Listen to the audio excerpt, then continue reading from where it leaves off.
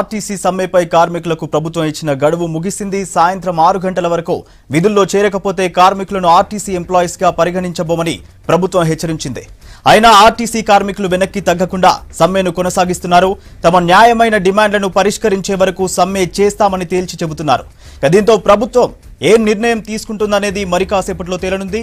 ESMA ప్రయోగించినా భయపడేది లేదంటున్నారు. ప్రభుత్వ బెదిరింపులకు కార్మికులెవరూ భయపడవద్దని సూచించారు ఆర్టీసీ యూనియన్ నేతలు.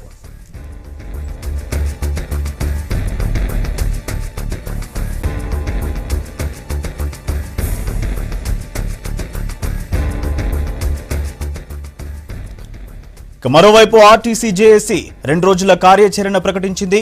రేపు ఉదయం అన్ని రాజకీయ పార్టీలు ట్రేడ్ యూనియన్లు విద్యార్థి సంఘాల మద్దతు కోసం లేఖలు రాయాలని నిర్ణయించారు. రేపు పదకొండు గంటలకు ట్రేడ్ యూనియన్ల రౌండ్ టేబుల్ కాన్ఫరెన్స్లో పాల్గొనాలని తీర్మానించారు. సాయంత్రం ఐదు గంటలకు అన్ని డిపోల ముందు కుటుంబాలతో కలిసి బతుకమ్మలాడాలని ఎల్లుండి ఉదయం గన్ పార్క్ దగ్గర నివాళులు అర్పించి ఇందిరా పార్క్ దగ్గర నిరాహార దీక్ష చేయాలని నిర్ణయించారు. ఇక ప్రభుత్వం బెదిరించినా భయపడకుండా సమ్మెలో పాల్గొంటున్న కార్మికులకు కృతజ్ఞతలు చెప్పారు జేఏసీ నేతలు.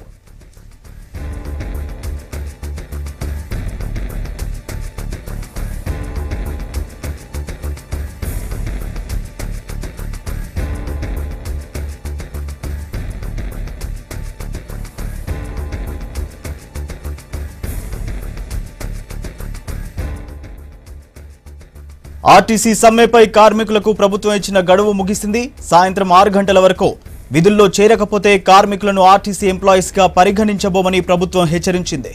అయినా ఆర్టీసీ కార్మికులు వెనక్కి తగ్గకుండా సమ్మెను కొనసాగిస్తున్నారు.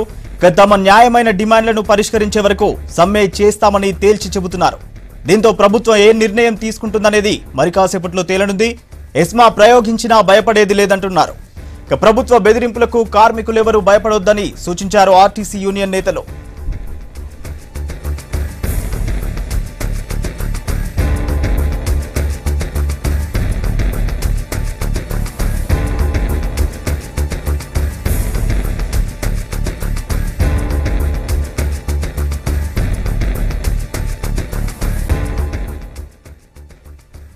అయితే సర్కార్ గడువు ముగిసింది. మరిన్ని వివరాలు శ్రీనివాస్ అందిస్తారు. శ్రీనివాస్ సర్కార్ గడువు ముగిసింది కదా సో సర్కార్ ఎలాంటి చర్యలు తీసుకునే ఛాన్స్ ఉందంటారు?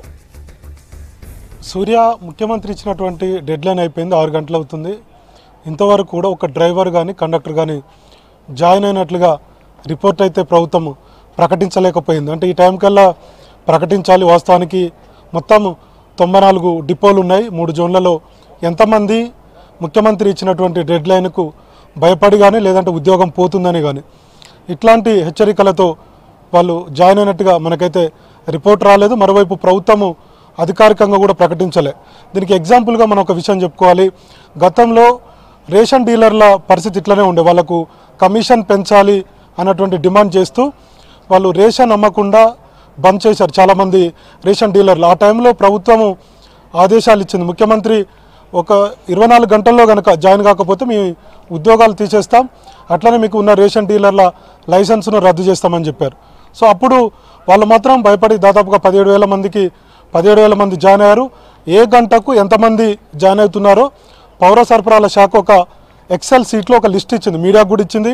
అట్లనే విడుదల చేసింది. వాళ్ళకు కూడా వాళ్ళ సంఘ నాయకులకు కూడా చెప్పింది.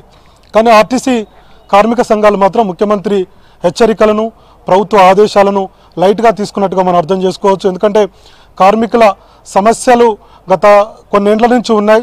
సో వాళ్ళ ముఖ్యమంత్రి ప్రభుత్వం తీసుకున్నటువంటి నిర్ణయాలు కావచ్చు ప్రభుత్వం ఇచ్చినటువంటి హెచ్చరికలు కావచ్చు ముఖ్యమంత్రి ఇచ్చినటువంటి ఆదేశాలు కావచ్చు సాయంత్రం ఆరు గంటలకల్లా జాయిన్ కాకపోతే ఉద్యోగాలు పోతాయి అన్నటువంటి ఇట్లాంటి కామెంట్స్ను వాళ్ళకు తీవ్ర కొంత ఆలోచింపజేసినట్టుగా మనం అర్థం చేసుకోవచ్చు. చాలామంది ఆర్టీసీ కార్మిక సంఘాల నాయకులు కూడా కింది స్థాయిలో ఉన్నటువంటి ఉద్యోగులకు కూడా వాళ్ళు ఆదేశాలు జారీ చేశారు. వాట్సాప్లో కూడా మెసేజ్లు పంపించారు. ఎవరు ఎక్కడ జాయిన్ కావద్దు ప్రభుత్వం ఏం చేస్తుందో చూద్దామనేటువంటి ఒక అల్టిమేటాన్ని జారీ చేశారు. మొత్తానికి యాభై రెండు వేల మంది కార్మికులు ఉన్నారు ఆర్టీసీలో.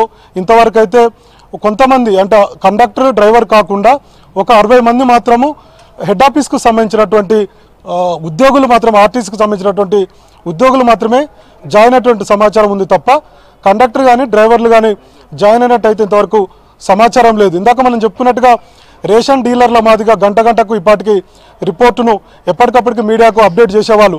యాభై రెండు వేల మంది కార్మికుల్లో పలానా టైంకు ఇంతమంది జాయిన్ అయ్యారు పలానా టైంకు మధ్యాహ్నం వరకు ఇంతమంది జాయిన్ అయ్యారు అనేటువంటి ఒక క్లారిటీ అయితే ప్రభుత్వం ఇచ్చేది. సో ఇప్పటివరకు ఇవ్వలేదంటే మనం అర్థం చేసుకోవచ్చు. ఇంతవరకు కార్మికులు జాయిన్ కాలేదు. మరి ప్రభుత్వం ఎలాంటి నిర్ణయం తీసుకుంటుందో చూడాలి.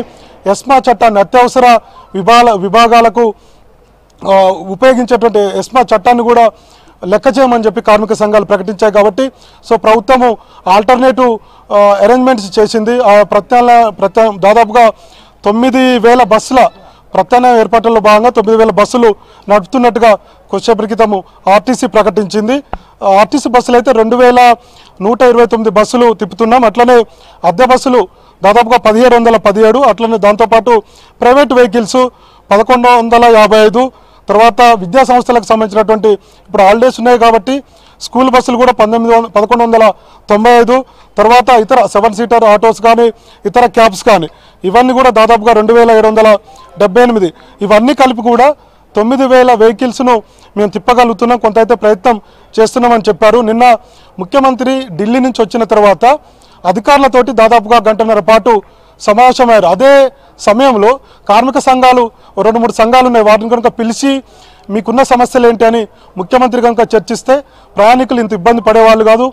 ఇవాళ బతుకమ్మ ఉంది రేపు కూడా సద్దుల బతుకమ్మ ఉన్నటువంటి పరిస్థితి ఉంది. చాలామంది ప్రయాణికులు మనం చూసాం ఉదయం ఏడు గంటల నుంచి కూడా చాలామంది అటు ఇమ్లిమెంట్ బస్ స్టాండ్ కావచ్చు తర్వాత ఇతర బస్ స్టాండ్లలో కూడా ఇబ్బందులు పడ్డారు. చాలామంది ప్రభుత్వాన్ని తిట్టారు. ఇటు దీంతోపాటు కార్మిక సంఘాల నేతలను ఆర్టీసీ కార్మికులను కూడా ప్రశ్నించినటువంటి పరిస్థితి కానీ ముఖ్యమంత్రి నిన్న సాయంత్రం వచ్చినప్పుడు అధికార అటు అధికారుల కమిటీతో కాకుండా ఆయన కనుక చర్చిస్తే ఈ సమ్మెలో ఉన్నటువంటి రెండు ప్రధాన అంశాలు ఒకటి పిఆర్సీకి సంబంధించినటువంటి అంశం కావచ్చు ఇంకోటి ప్రభుత్వంలో విలీనం చేయాలన్నటువంటి డిమాండ్ కావచ్చు.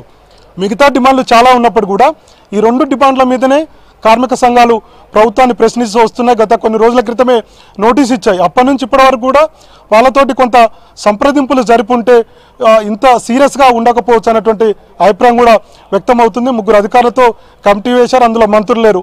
తెలుసు మనకు అధికారులు ఏ విధంగా ఉంటారో. ముఖ్యమంత్రి ఇచ్చినటువంటి ఆదేశాలు పాటిస్తారు. రూల్స్ అండ్ రెగ్యులేషన్స్ ఉంటాయి తప్ప వాళ్ళు చేసేది రాజకీయంగా ఒక పొలిటికల్ నిర్ణయం తీసుకోవాలి. సమ్మె మీద అది ముఖ్యమంత్రి చేయనట్టుగా మనం అర్థం చేసుకోవచ్చు. నిన్న కనుక క్యాంప్ ఆఫీస్లో ఆర్టీసీ కార్మిక సంఘాల నేతలతో చర్చలు జరిపితే ఇంత పరిస్థితి ఉండేది కా ఉండేది కాదనేటువంటి అభిప్రాయం కూడా వ్యక్తం అవుతుంది సో మొత్తానికి కార్మికులు చాలా పట్టుదలతో ఉన్నట్టుగా మనం అర్థం చేసుకోవచ్చు. ఇంతవరకు కూడా ఎవరు ఎవరు జాయిన్ కాకపోవడం అనేది సో ప్రభుత్వం మరి ఈ విషయాన్ని ఎట్లా చూస్తుందో చూడాలి. మొత్తానికి కాసేపట్లో దీని మీద ఒక ముఖ్యమంత్రి కార్యాలయం ఒక ప్రెస్ నోటు కూడా విడుదల చేసే అవకాశం అవుతుంది మంత్రి కావచ్చు ఇతర అధికారులు కావచ్చు సమావేశం యొక్క నిర్ణయం అయితే తీసుకునే అవకాశాలు మనకు కనపడుతున్నాయి. ఇది ప్రస్తుతానికి ఆర్టీసీకి డెడ్లైన్ సంబంధించినటువంటి తాజా update Surya. Right thank you Srinivas